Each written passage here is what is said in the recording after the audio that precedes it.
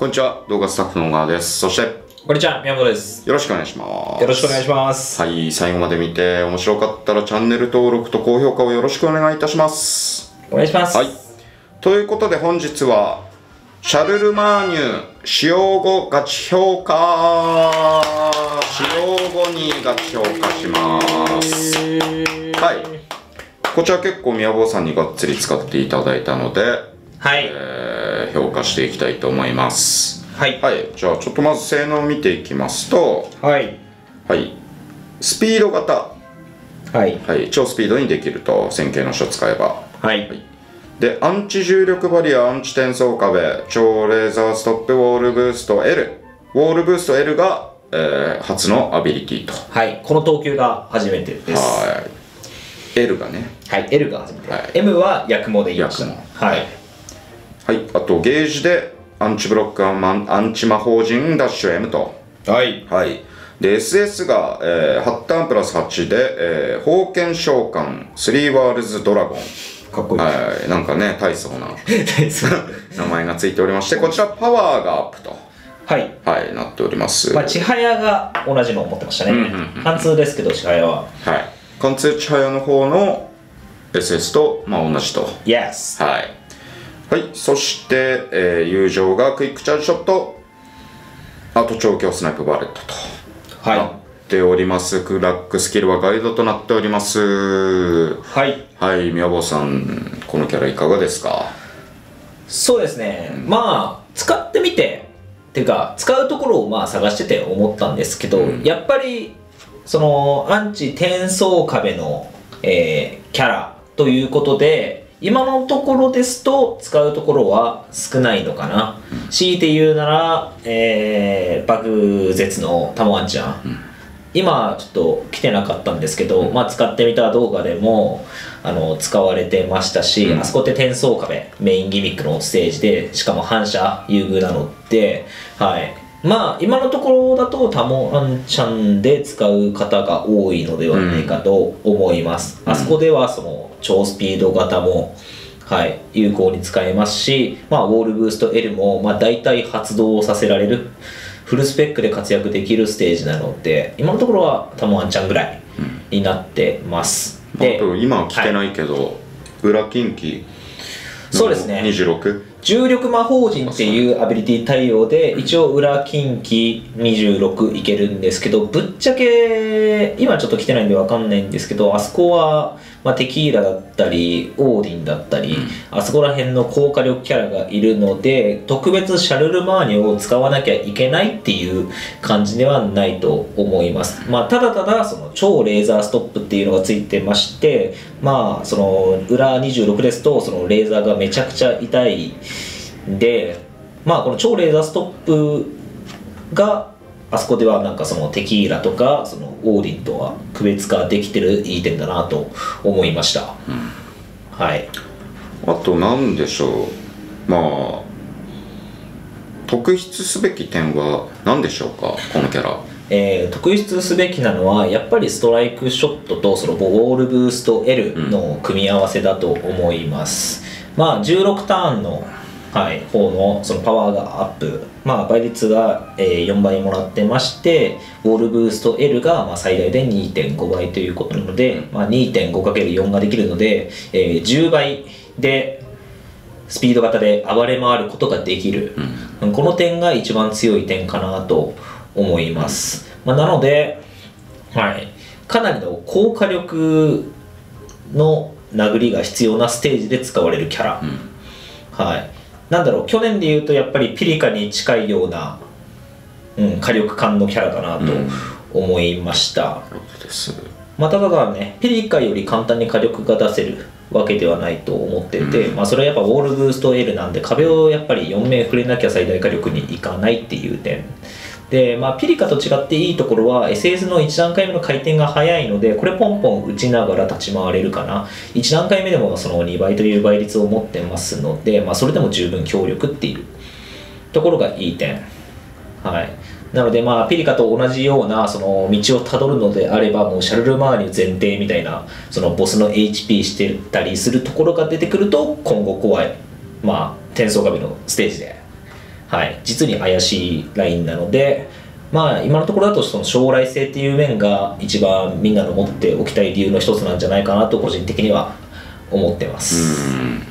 ピリカもなんか最初来た時いやこはんな、ねマジでこんな感じでした。スペックは高いけど、うん。まあなんかどこで使うんだろうみたいなそう殴りの火力はもうトップクラスなんだけどな、使うところどこなんだろうからの天魔実装だったりダーインスレーブはい。だったので、まあ、それとすごく似てるような感じになっております。これで適正度適正来なかったら怒りますか？怒ります。まあ正直来ないとねそこまで狙って引きに行くかっていうもちろんこともねそうだと思います。来ると信じて引くキャラですかね。そうだと思います。でもまあ毎回その属性限定モンストのキャラって何かしらにやっぱ刺さってはきてはうん。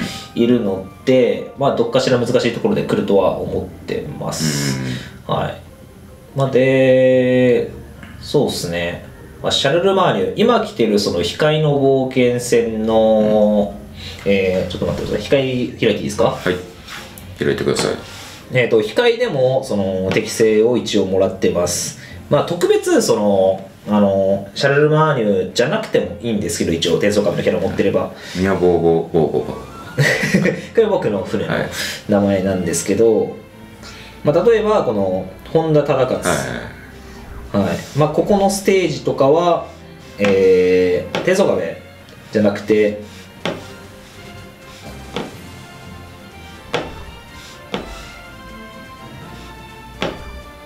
あれ？ここだったっけ？ここここだと。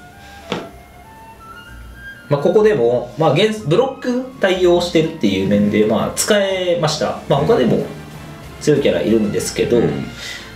まあ、ここでも普通に強かったなっていう印象。まあ友情も、まあ、殴りも。まあで特になんですけどここかな？ロイナードここが転送壁のステージ。まあ実際に使用もしたんですけどまあシャルルマーニュ一番強いと言ってもいいレベルでしたね、はい。これ2体入ってるのはちなみに私が歌唱したやつですね。はい、はい。だから一応その光の3のこことか、主にロイナード。なるほうん、まあ他の転送株の反射持ってる方とかは別に困んないとは思うんですけど一応こことかはめちゃくちゃ強かったりはしました、うんだからそうですね。今引いたらタモワンちゃんと今光でポンって3の海域のこのロイナードをやるときに使うんじゃないかな。っていうのは思いました。どあと宮本さんあの天魔の1でも一応無理やり突っ込んで使ってみてましたよね。そうっすね、うん。天魔の一でも無理やりぶち込んでみたんですけど、ん。まあちょっとまあリムルと比べちゃうと、まあちょっとやっぱワープも対応してないですし。天魔1に関しては無理やり突っ込むほどではない。のなんか友情感とはい。かではなかったっすね。ああちなみにちょっとステータス戻っていただいてもいいですか？はい、友情はどうでしたか？そうですね。友情はまあ強い部類だと思います、うん。うん、まあ属性友情2つ持ってってっていう感じなんでまあ悪くはないんですけど、まあこれ中心にやるかっつわれるとそこまでではないなって思いました個人的には、まあ、一応その誘発でゴールブースト L とか載せられるんですけど、まあ大体当倍ぐらいのイメージで使うのがいいかなとはなるほど。思います。なんか難しいところでなんか倒せない敵倒せたりするみたいなうん。感じかな、まあ、なるほど。たまわたまわんちゃんとかが分かりやすいと思う。あそこもなんか、その使ってみた動画でもクイックチャージとねこのスナイパーレット使って後々になんか効果あの状態異常が入った敵に対して友情で溶かしてるシーンとかもあるので、うん。まあああいう感じの使い方かな友情は。だからメインにするうん、これ中心で立ち回るっていうのはあんまないかなと個人的には思います。じゃあやっぱあくまで殴りキャラではあると。うん、あくまで殴りキャラだと思いますね、このキャラは。ちなみにちょっとウォールブースト L の話に戻りますがはい。これ壁1フレぐらいだとそうでもないですか？ーん1フレまあ個人的には、はいまあ、まあ3フレ以上はしたいかなってなるほど。いう感じですね。じゃあなんだろう。敵の上に挟む上なり横なり下なりに挟まっててガガガガガンとかっていうのはそんなになんか別そに他のキャラれだとまあただのスピード型に殴ってる感ですね。はいやっぱり4フレしてあフレ数増やしての火力。なんかやっぱりウォールブースト L が元になってる攻撃力なので、最近のスピード型にしちゃやっぱ低いんですよねステータスも。2万8402って、うん、うん低い部類だと思います。でウォールブースト L 以外にやっぱ火力上げ要素が SS しかないんで、ヤクモは違うんですよね。うん。超マインもあったり全属性キラそうっすよね。があるんで、うん。話は別なんですけど。こいつはやっぱ本当に完全に壁を生かしてど。立ち回っていくキャラだと思いますじゃあねどちらかというとまあ狙っ結構使うのむずいキャラというかうん。狙って3クレはしてとかって結構むずいですよね。まあ結構そうですね。じゃあなんとなくあれですかね。暴れてたら強いよみたいな感じまあ暴れてたらら強いは間違いないですね、まあなんか暴れられるだからステージですよ、うん。その雑魚敵がなんか、うん。そのめちゃくちゃ出てきちゃっては暴れづらい状況っていうステージは向かないかなと思います。うん、あとはやっぱ挟まったりとかもあんまりですか？まあ挟まる系ステージとか。まあそうっすね、うん。微妙だと思います、だから基本的にはもうまたタモワンちゃんの話になっちゃうんですけど、はいなん。かスイッチみたいになんか仕掛けを起動させるためにスピードが必要なステージ、うん。うん。まあ、そういうところでの活躍みたいな感じになってくるとは思いますけどね、今のところだと。なるほどうねん、まただやっぱりね転送壁のそのキャラの中でしたらかなりスペックの高いうん。部類には入ってくると思いますね、うん。そっか。転送壁だけで見ていくと。そうですね。これ転送壁のえーまあ、一応関数も入れて。はい。こんな感じになっております、まあ、特に反射ですね。ああ反射では1番ですよねこれそうっすね。反射転送壁だったら。火力が一番出るんじゃないですかね、うん。まあ、サンザルクとかがやっぱり同じその聖騎士というシナジーで入ってきてるっつうのもなんか高難易度を匂わしてますし。魔法陣までじゃないですか？そうだね。これが3ギミックまで一緒だから、多分何かしらと使わせることを考えてるんじゃないかなと思ってます、まあ、これはただのちょっと予想になっちゃうんですけどね、まあ、まあ転送壁だけだったらば、ああ、ね。キラヤマト、まあ、ブロック転送壁でかぶってますよ。ね、うん。うん、まあキラヤマと、まあ、かなり相性いいですよね。なるほどね。スピードアップできるんで、うん。まあ、とかいう結構増えがちな水属性のラインなので、まあ、すごく今匂ってるキャラかなとは思います、はい。まあじゃあやっぱりステージ待ちですかね。そうですね。なんか去年の本当ピリカと同じような感覚です、まあでもスペックはやっぱあると思いますね、だから結構土適性みたいなの来ないとちょっとあれなそうですね部分もありますよねこれ。ちょっと毒適性が来ないと、うん。だからウォールブーストもだから多分生かしづらかったらうん。生かしづらいステージだったらちょっとね活躍できないと思いますね、なんか結構そのアンチ重力バリアだったり超じゃなくて超アンチ重力バリアだ。ああでもねただの重力バリアまあもちろん超が良かったですけど、別にそこは気にならないですあね本当ですか？うん。なぜならな、まあ、ダッシュ M 持ってますし、まあまあまあそうか。うん。十分か。まあスピードまあ超スピードできれば、はい。まあ超重力だったらいいですけど、うん。まあ。強すぎるか。うん。まあ強すぎ俺別に俺は別にいいんじゃないかなとは思うけど、まあ多分強すぎちゃうんでしょうね。ガイドは？ガイドもなんかその強すぎちゃう感感じるんですけど。クリティカルにわざわざうんクリティカルにされてないっていう、まあ、いっぱい動くからクリティカル出やすいか実質。うん。まあでもそこはあん どうなんですかね。う。ん。でもガイドなんか弱でもガイドのキャラ強いですよね。基本的に、うんそうか。ガイドついてるキャラってまあ確かに強いですよね。俺はそこまで深読んだことなかったです。なるほどなるほど。あれは確かにそうっすね。うん。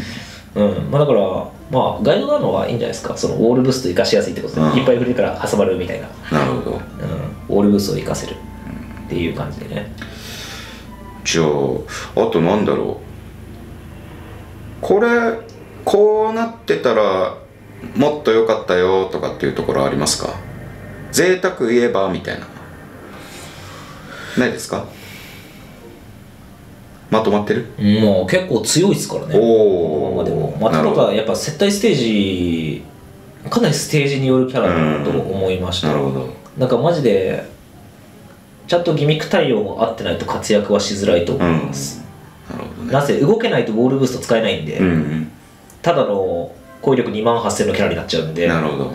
そう動けるのがやっぱ前提のキャラ、うん。だから無理やり連れてくっつうのはあんまり考えないけどなるほど。うん、友情もまあまあ、まあ友情も悪くはないですけどまあ今別にこれ以上のやつこれぐらいのやつはいるのでうん、まあ、その辺もちょっとピリカ感ありますね。そうピリカもやっぱりバッチリハマってないと。そうですよね。バッチリハマったらめっちゃ強いけど別に普通の非非属性のクエストに無理やり連れてくかっつったら連れてかないですもんね。連れてかないですね。ね。まあ、でもピリカに関してやっぱ SS がやっぱ敵ドンだったんで、はい。敵に触れるために挟まるステージがあれば何でも活躍できたんですよ、うん。でもこいつはやっぱり壁を使わないとやっぱ活躍ができないと思います。だからもうギミックがバチバチやってないとうん。きつい、なるほど。うん。だから、うん。まあ、ピリカよりは狭まってる気がする、うん。個人的にはね、うん。まあ、だけどスペックはありますよ。やっぱハマったら。強いと思う、なるほどね。うん。おすすめの実は何でしょうか？いやーやっぱりね攻撃力足りなく感じましたね、うん。僕最初速殺遊撃で、はい。うん、使ったんですけど、はい。ちょっと攻撃力盛りたいっすね。あじゃあ同族参加劇とか。ああは全然めちゃくちゃおすすめです。あそれこそ即費はいります？欲しいですか？食費はなんかいい感じにその速殺ヒールでなんかすぐ打てたら、うん。なんだろう手数化するときに使うかなとか。なるほどなるほど。まあ事業化2倍なんで、うん。このターン数で、んうん。だからそういう時に使うかなと思ってつけたんですけど、まあ、実際使うってなったら多分過激をガン盛りした方がいい。なるほど。じゃあ過激が最優先。俺は過激だと思いました、次即費ぐらいですか。そうですね。即費遊撃になってくるかなと。友情を強くするっていうのはあんまり考えなくていいですか。ああ俺はあんまり考えなくていいと思いますね。うん、まあなんだろうな。まあそこもステージによるんですけど遊撃つけたらこの雑魚にクイックチャージ通って楽になるよとかっていうのがあるならば、うん。遊撃の卓にあるんですけど基本的には過激だと思います、うん。なるほど。じゃあ最後にこのキャラは今引くべきですか？どうですか？シャルルマーニュははい。今